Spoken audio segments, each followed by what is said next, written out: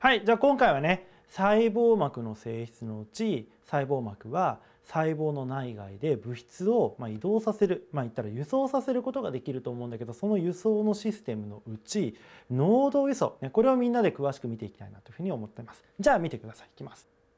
濃度輸送ね。濃度輸送は前もやった通り膜タンパク質を介してなされる輸送なんだけど特にその膜タンパク質はポンプってものだったと思うんだよね。でそのポンプっていうものを返すんだけどその輸送する方向としては低濃度とから低濃度から高濃度の方に輸送させる、まあ、移動させるような輸送だったと思う。で物質そのものにはまあ受動輸送の時にもちょっと言ったと思うんだけど高濃度と低濃度が隣り合った時は均一になろうとする性質があるからその物質は高濃度の多い方から低濃度の少ない方に自動的に移動してしまうってことがあったと思うんだよね。でまあだからそういうことがあるから受動輸送の場合はエネルギーが必要としなかったってことがあったと思う。でも今回のやる濃度輸送に関してはもう一回言うけど低濃度から高濃度に移動していく話なんだよね。そうすると結局ここにも書いてあると思うんだけど拡散に逆らって輸送を行うために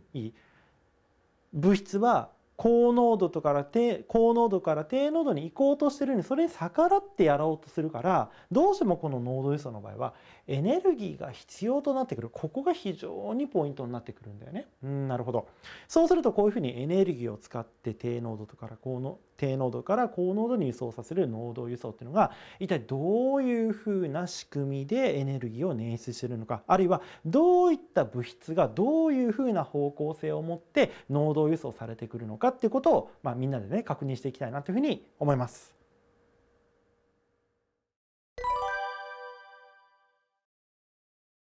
はいじゃあね早速農道輸送を担うポンプの説明していきたいなっていうふうに思います。じゃあ見てください。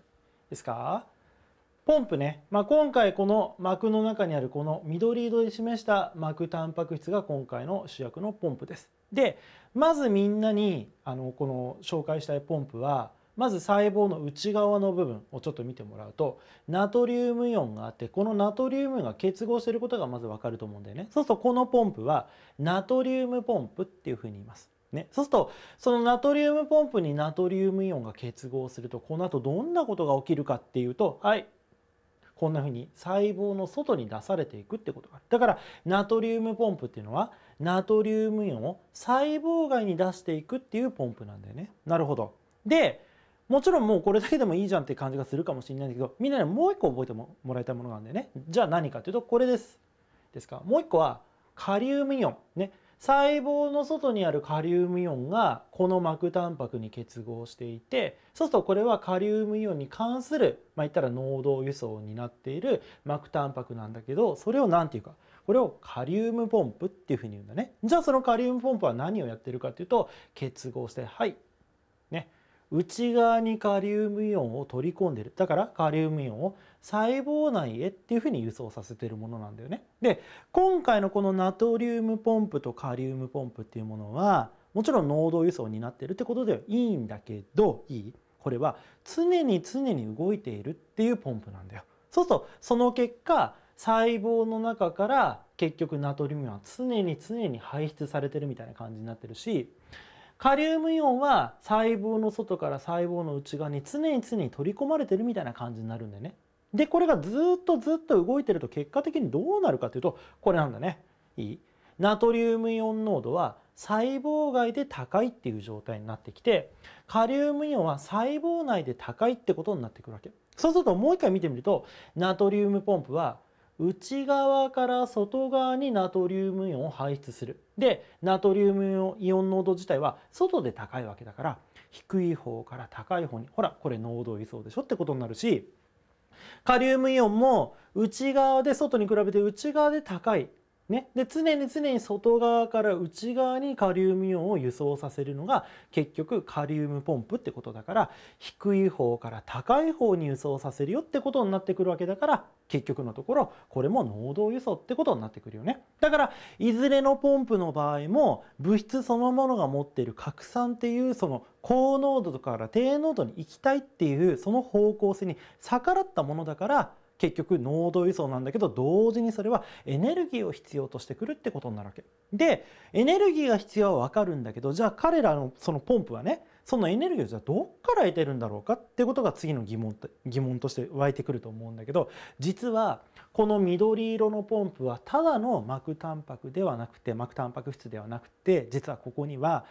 ATP 分解酵素ってものが実は含まれてる。まあ言ったら機能として一緒になってるんでね。そうするとその ATP 分解酵素はいちょっと見てください。実はその ATP 分解酵素により細胞内に存在している ATP を分解してその時に生じたエネルギーを実はこの濃度輸送に使っているってことがあるわけだから常に常にこのポンプは働いてるって言ったけど常に常に実は ATP が消費されてるってことなんだよね。うん、でその ATP ってじゃあどっから来てるのかって言ったら呼吸によってできてるわけだから例えば呼吸がうまくいかないって言ったらこの輸送だってうまくいかないってことになるから細胞はたちまちのうちに大変なことになっちゃうみたいなこんな感じなんだよね。うん、じゃあ一応ポイント見とこうかな。はい。ポイントとしては当然のことながらこの黄色い部分っていうのをしっかり覚えてもらえればいいと思うんだけど特に特に覚えてもらいたいところとしてはここです。いい結果的にこのポンプを使うことによってナトリウムイオン濃度は内側に比べて外の方が高濃度の状態が維持されてる。でカリウムイオン濃度は外側に比べて内側の方の濃度の方が常に常に高い状態が保たれている。ね、それはどうして維持されているんですかって言われたらそれはこれらのポンプによる濃度輸送によるものなんだってことをみんなねちゃんと説明できるように覚えるようにしてみてください。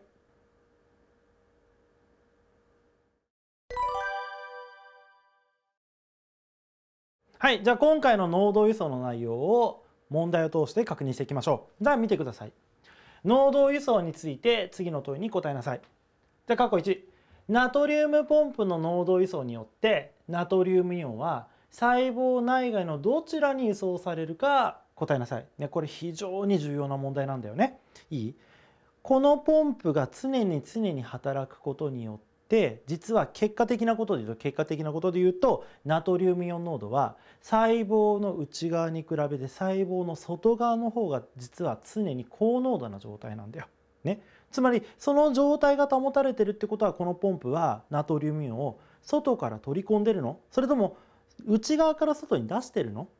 これ当たり前だよね。外に出してなきゃおかしいでしょ？だから今回もう一回見てみるとナトリウムイオンは細胞内側のどちらに輸送されているかっていうふうに言われたらこれはすごくシンプルだけど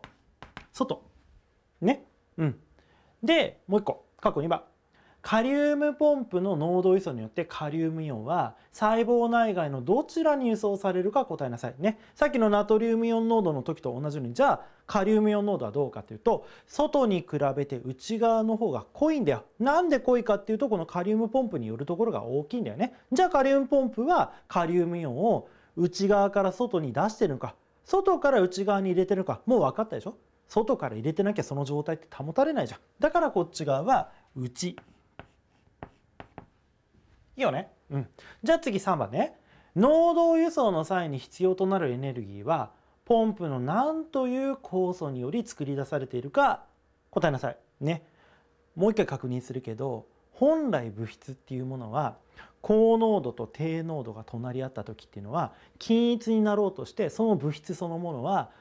多いつまり高濃度の方から低濃度の方に自動的にこう移動していくってことがあるわけでも今回の濃度輸送っていうのは低濃度から高濃度の方に輸送する、まあ、そういうふうな移動方向性があったと思うんだよね。ってことは本来物質が持っているそういうふうな拡散っていうような高濃度低濃度の方向性に逆らってるってことがあるよねだからそこにはエネルギーがないとその逆らうことができないじゃあそのエネルギーはどっから捻出してるかっていうと当然 ATP から捻出してるんだけれどじゃあその ATP を分解するものが一体何なのかみたいな話なんだよね。うん、だからもうそのままもうもう答えはほぼそのまま言ってるけど ATP を分解するってことだから分解酵素ね。だからみんなは濃度輸送の役割を担っているポンプにはポンプとしての働きとともに ATP 分解酵素としての働きもあるからこそ ATP を分解してエネルギーを得ることができる。でそのエネルギーを得ることができるこそ逆に言うとポンプの働きを担うことができるんだ。ね、こんなふうに理解をするようにしてみてください。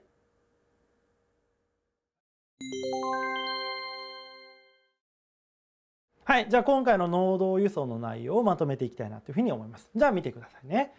能動輸送は何ていう膜タンパク質によって行われているかというと確かポンプだよね。でこのポンプっていう膜タンパクによって逆に言うと濃度輸送が行われてるんだけどポンプにはさらに輸送タンパク質としての働き以外にもいい。ここのポイント。ATP 分解酵素。としての役割も実は行うあ、ま、役割をすることができるとそうするとこの ATP 分解酵素の能力があると ATP を分解してエネルギーを使うことができるからそのエネルギーによってポンプでは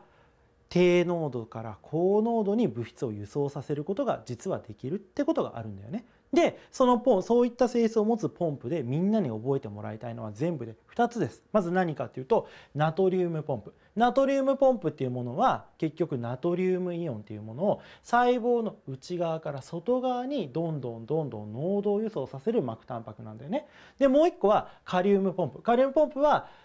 細胞の外側にあるカリウムイオンをどんどんどんどん内側に濃度輸送させることができる実はポンプなんだよね。そうするとこの2つのポンプっていうものが常に常に ATP を分解してエネルギーを消費して常に常にこういった輸送濃度輸送を行うっていうことがしているおかげで結局ここここが一番ポイントだよ。